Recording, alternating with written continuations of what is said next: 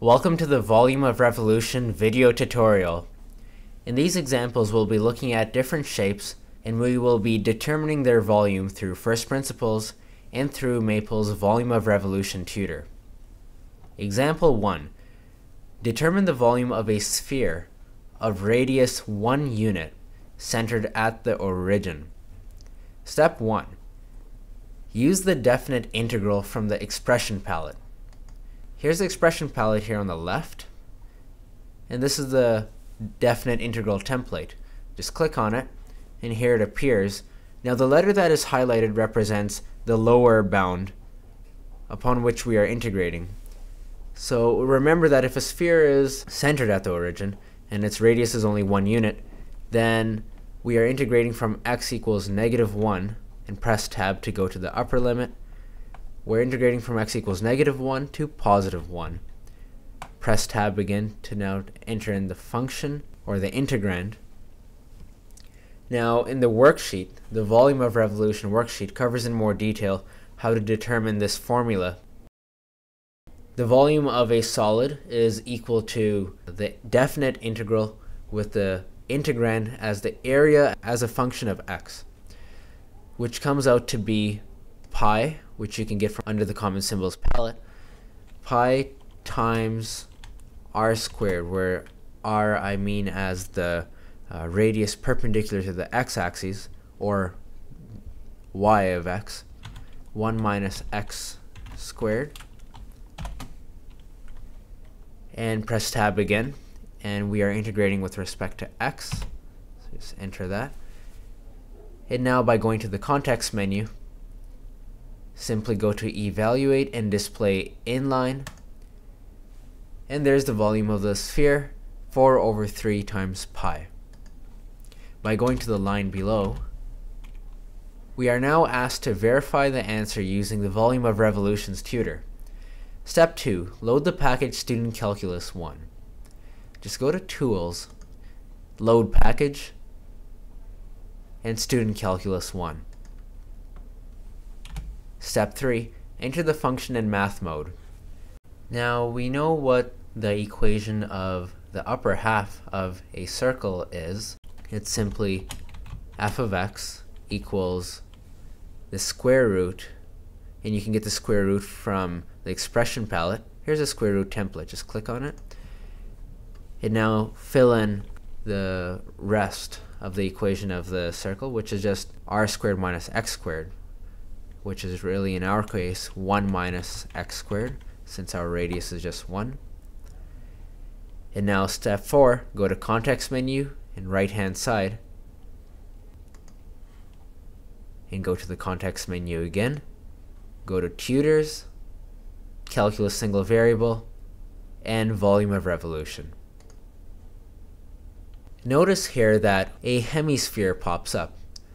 That's because we have to change the interval over here. And we're integrating from x equals negative 1 press tab to positive 1 so that's our interval AB and let's approximate although we will also be determining the exact volume of the sphere let's also approximate the sphere with let's say 15 disks.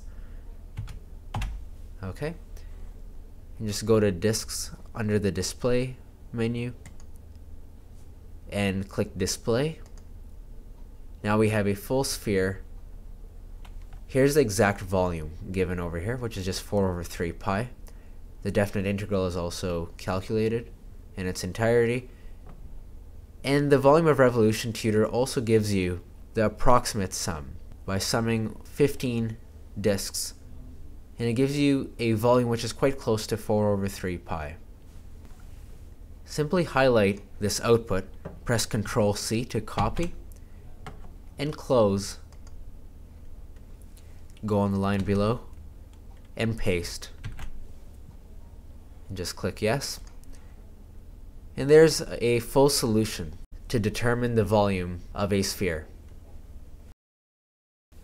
Example 2.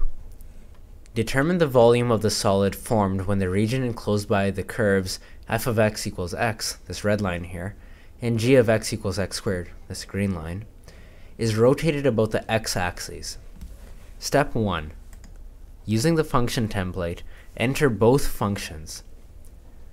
The function template is right over here under the expression palette. The letter that is highlighted represents a function, so let's do the first one.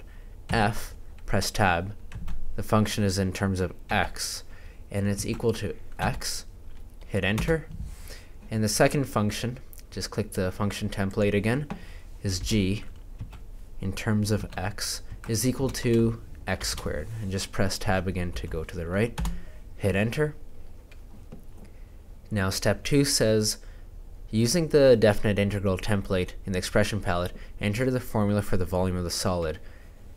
Under the expression palette, we can find the definite integral template and just click on this one over here. And let's define the lower and upper bounds. And in case you're not sure of the bounds of integration, just look at the diagram below the question. And here are the two curves, and they intersect at x equals 0 and x equals 1. So let's fill in those values, x equals 0, press tab, x equals 1, tab again. And from our worksheet uh, that you can go through uh, to learn more about the formulas that we use to determine the volume of a solid, the integrand is pi, which you can find from common symbols, pi times f of x squared minus g of x squared.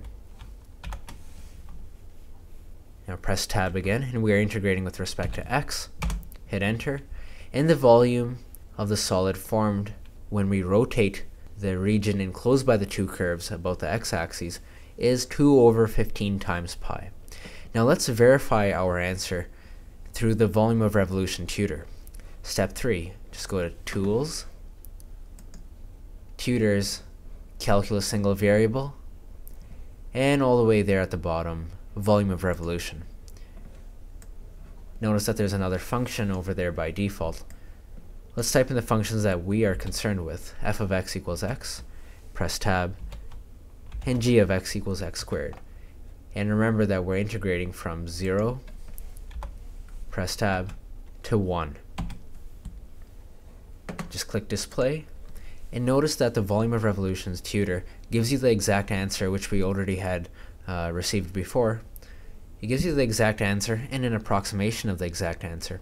But if you'd like to know how the Riemann sum looks like, we can approximate that by going to disks under this display menu here and click on display. So it gives you the exact answer again and it also gives you the Riemann sum with six uh, disks for example and you can change the number of disks in, in the approximation by just going to the number of partitions. So if you wanted to use 10 partitions or 10 disks, just change that to 10 and click display again. And now your Riemann sum uses 10 partitions.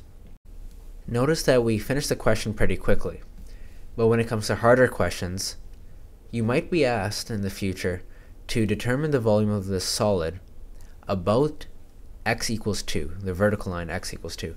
In that case, what would you do?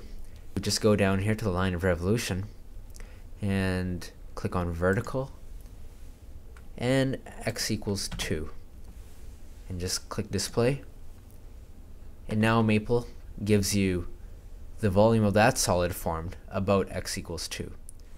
You can also do it for negative 3 or any value. If you wanted to do it about y equals 1. Now that's a horizontal line, so then you click on horizontal, enter in y equals 1, and click display. Geometrical issues you'll have to note yourself and make sure that they are correct. So let's go back to our original uh, case that we were dealing with, which was 2 over 15 pi, the answer that we got. Copy with Control C, close, and paste. Just click yes. And there is a full solution that tells you how to determine the volume of this solid. Thank you for viewing the Volume of Revolution video tutorial provided by the Maple Adoption Program.